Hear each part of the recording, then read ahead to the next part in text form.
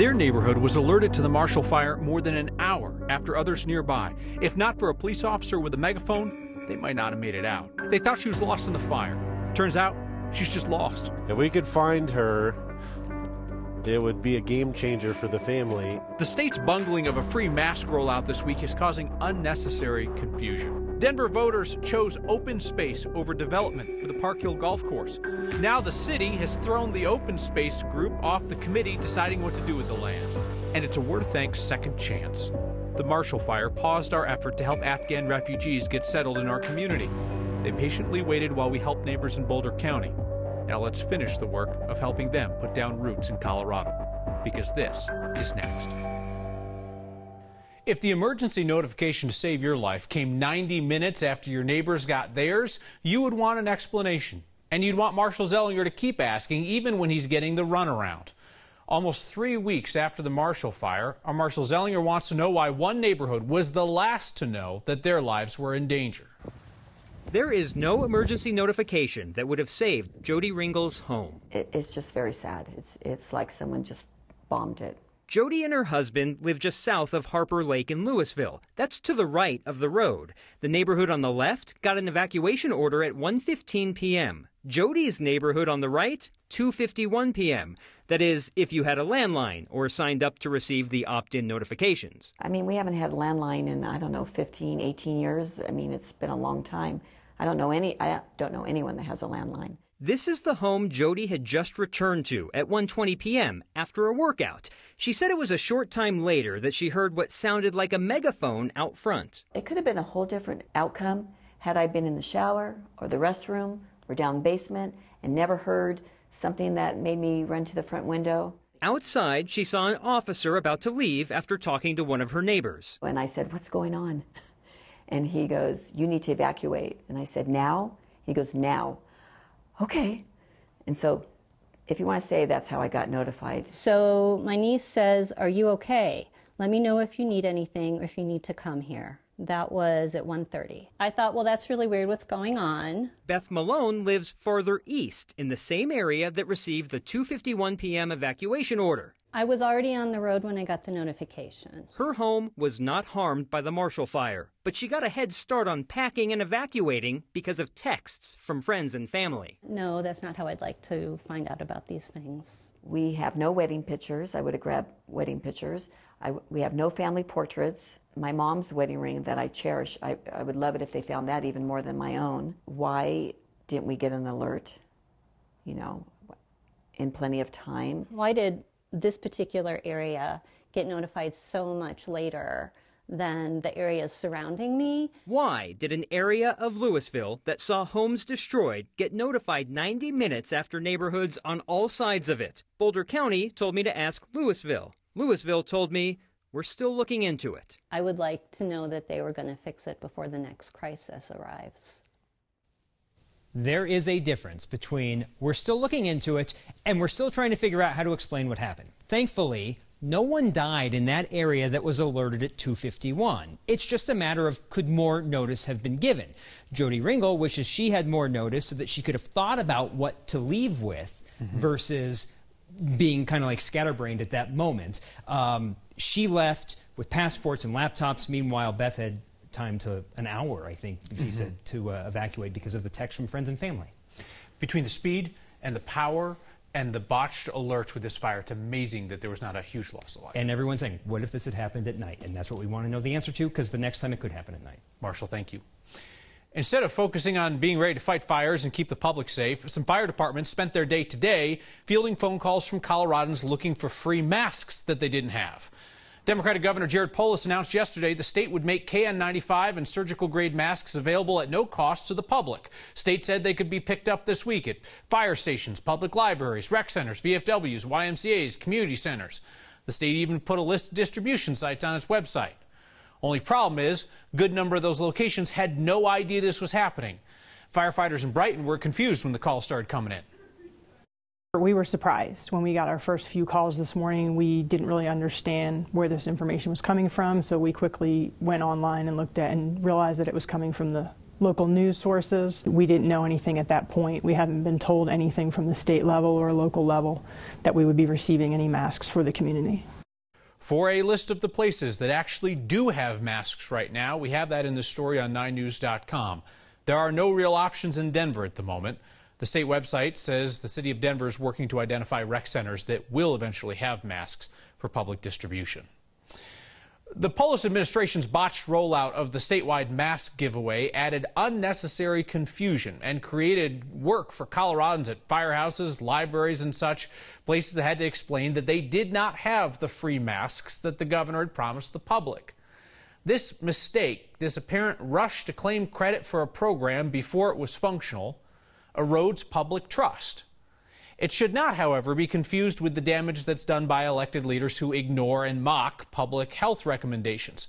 But we can't lower the bar for evaluating the Polis administration just because some of its critics have abandoned adult behavior altogether. Coloradans should expect competent handling of the pandemic's shifting challenges. And the rollout of the statewide mask program did not meet that standard. Our positivity rate's been dropping a bit from a pandemic high. 26.7% of COVID 19 tests done in the state over the last seven days came back hot. A week ago, we were at nearly 30%. Colorado's Democratic Senator Michael Bennet is often so visibly frustrated at how the U.S. Senate works, we have even asked him if he's still interested in working there. Today, Bennet rose to urge his colleagues to pass voting rights legislation to make all of America's voting more like the easy, safe process we know in Colorado. Now, Senator Bennet knows this is not going to happen. Every Republican in the Senate is opposed, and two Democrats won't override the filibuster to do this. In contrast to Houston, where there's one drop box, in my hometown of, of Denver, where there are 500,000 registered voters, we have 40 drop boxes in Denver.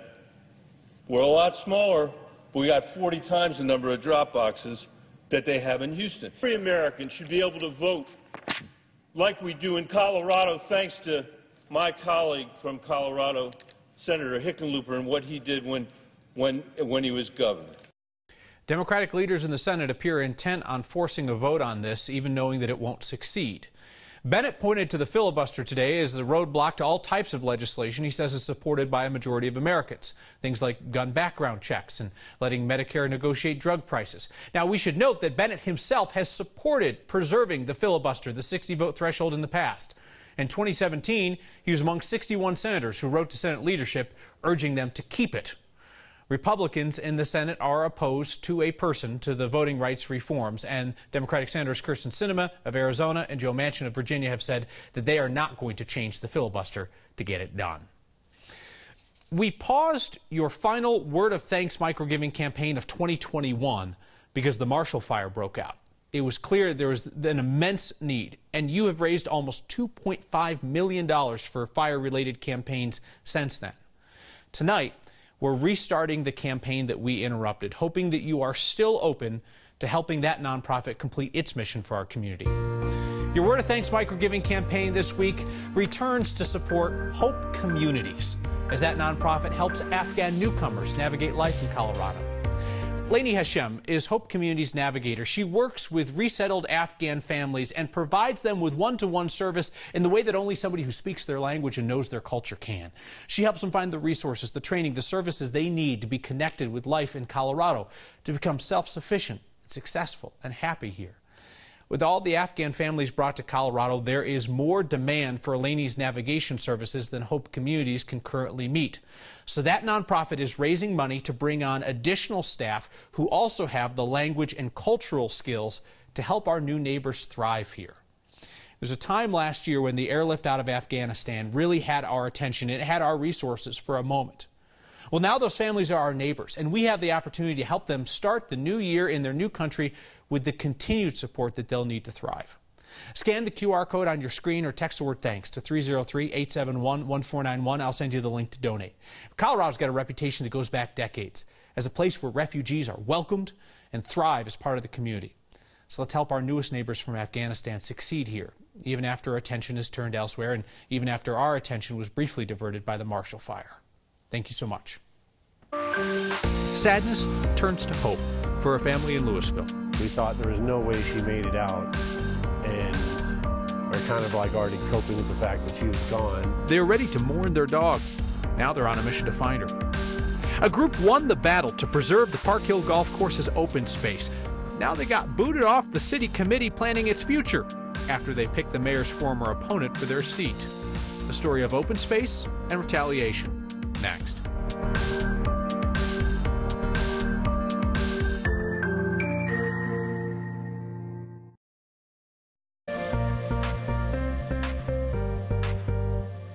What a cold day. Freezing fog, freezing drizzle, light snow, but the sun returns tomorrow ahead of a Friday storm and chance for more snow.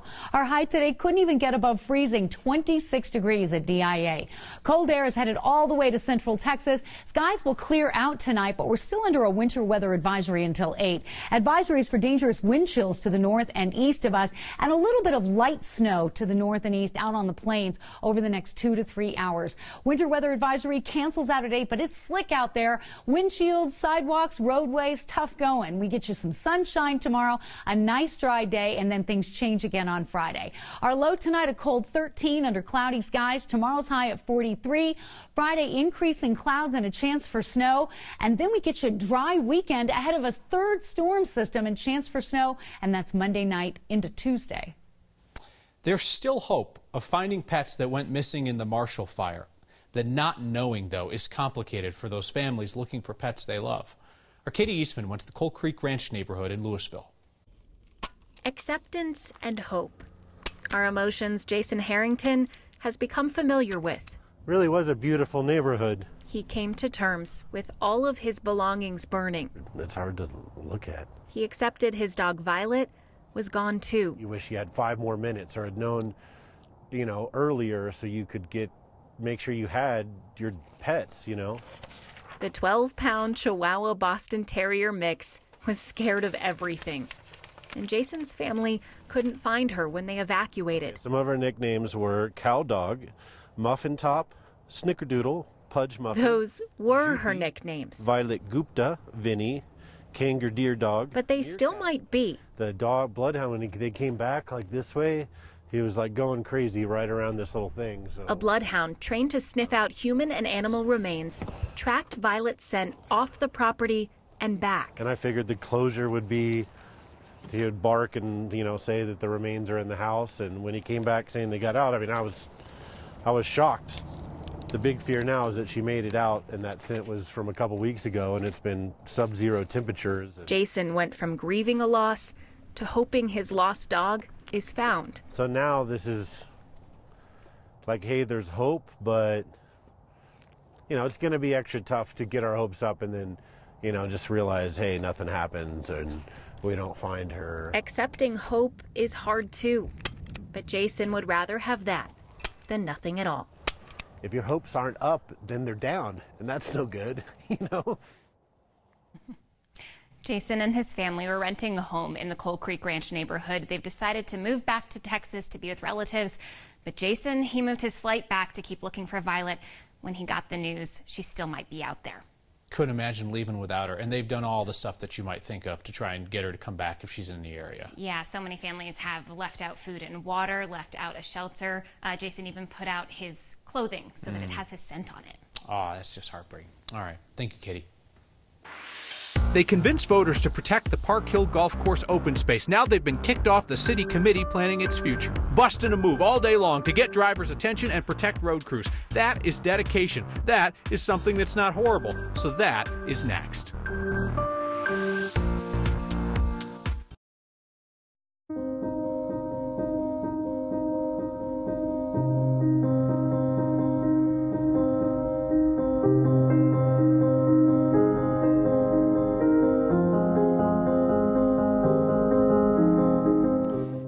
Advocates for keeping the Park Hill Golf Course open space in Denver won on Election Day. But the city just threw them off the committee that'll guide how that land will be used. The group Save Our Open Space tried to nominate Mayor Hancock's former opponent, Lisa Calderon, to their seat on the committee. That did not go over well.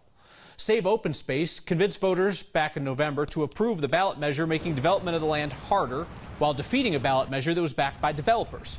The city is supposed to be neutral on all of this, though open space advocates have long said the Hancock administration just wants the land developed. Park Hill Golf Course Area Plan Steering Committee is the group that will decide what to do with the land based off community feedback. Community has called for a new park and community gathering space, more trees, youth and rec sports, affordable housing, and a space for a grocery store. When Save, Our, when Save Open Space nominated the mayor's former opponent for the seat, Dr. Lisa Calderon, the city sent them a letter saying, quote, we believe that further participation by Save Open Space as part of the committee would only result in further discord within the community. So off they go. If you've ever wanted to own a slice of the Old West, it can now be yours for the low, low price of $4.7 million. The old Cowtown Resort south of Saguache is up for sale, all of it, all together. 320 acre ranch has a saloon and a restaurant, general store, and a chapel. The Zillow listing says there are 22 bedrooms and 24 bathrooms in town. $4.7 million is the ask. It's been on the market for more than a few months now, so you could probably get them down to uh, four even. And this reminds me of that HBO show whose name I can't recall. By the way, this is not the Old West town formerly owned by one of the Koch brothers. We checked on that. Dancing in the middle of the street to keep other people safe? Oh, something that's not horrible. Richard in Boulder looked out the kitchen window Monday morning, saw this guy shaking his moneymaker in the middle of the street, was thinking, well, that's an interesting way to go through life. Uh, Richard did some investigating. It turns out he's actually a flagger for a construction crew down the street. He dances like this all day long, trying to get drivers' attention so that people will be safe. Maybe a vest next time as well. It's a good way to burn some calories. Send us things that aren't horrible. Anything that isn't horrible, doesn't matter what it is. Email photos or video to next at 9news.com or tag us on Twitter using the hashtag HeyNext. A few weeks ago, we started working together to give resettled Afghan refugees a long-term boost in our community to really put down roots, and then the fire interrupted our efforts. The need's still there, so let's give it another go. Next.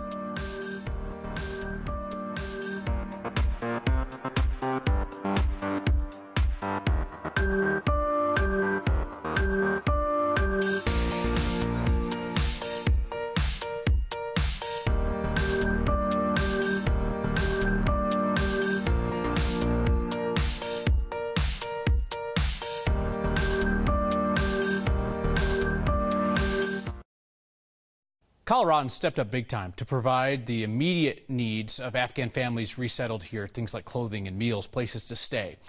Now, those families have been here for a few months and they could use additional help getting established and connected long term so they can succeed and thrive. And that's where Hope Communities comes in. They have a navigator, a woman named Lainey Hashem, who has more families needing her specialized help than she can handle alone. So that nonprofit is fundraising to add another navigator who also speaks the language, knows the culture, can help people really put down roots for the long term in a community. Scan the QR code on your screen or text thanks to 303 871 1491 to join me in giving so that Hope Communities can do that great work in our community. Holly writes in tonight to say Marshall Zellinger is just the best and keeps getting better. Holly writes, I trust him to dig into local issues like no one else I have ever seen. I happen to agree with you, Holly, and I'll give you my personal opinion of what makes Marshall Zellinger so good. He doesn't do this work so that powerful people will like him and invite them to their holiday parties. Marshall does this work for you, people he may never meet, who deserve better answers than what they're getting from people in power. Marshall and I will see you next time.